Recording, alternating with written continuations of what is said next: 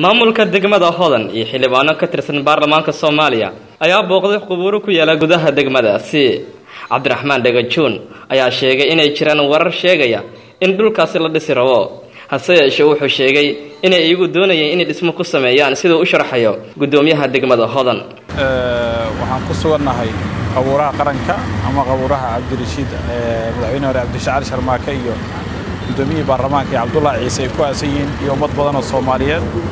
Allah u wada naxariisto. Dhowr maalin ka hor ayaan halkan iskugu imaannay shaqada inaan ka bilaawno dhammaan xildhibaanada. Shaqadii wanaagsaneedeen bilownay ee ahayd meeshaan qashiqub ka noqotay. Qaraxyada la hordhigo dadka alkuliisiyaasha oo imaadaan. Calaqa lagu cabo inaan sida ay tahay ka bedelno oo wejigaananta ka bedelno weji qurux badan aan u yeelno ayaa waxaa dhacday dad wax magarato ah inay waxyaabaha si kale u fasireen.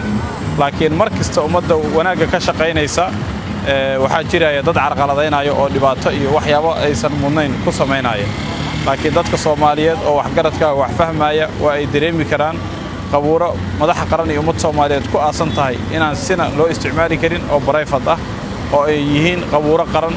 Annaga ujeeddadana waxay ahayd isxilqaan inaan wax ku hagaajinno ku dhisno derbigaan aad arkaysaan oo dheer ilaa derbiga dhan kasta u soo wareegsanayaa la dhisaa qabuurihii qaranka magacaa lagu qoraa calankii soomaaliya lagu sawiraa maadaama madaxa qaran ay ku aasan tahay.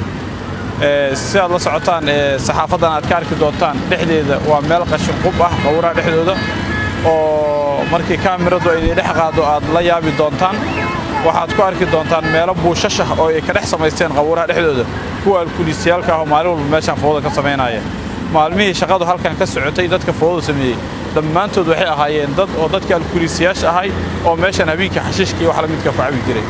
Waxaan u sheegaynaa inay ka waantoobaan waxaasuna aysan dhici doonin annaga ka maamul ahaan warqadda madaxda dhan ee ogeysiinta ku laheyd oo guddoomiyaha gobolka iyo xeerlaalinta ay nagu soo socodsiiyeen. Ka maamul ahaan inaan ka saacidno wixii karaankana ah iyo amniga iyo shaqadu si u soco laheyd ilaa hadda dowrkeennaan ka qaadanaynaa. Cabdicasiis cabdiraxmaan xasan cabdicasiis eekal raadiyaha telefisn city magaalada muqdisho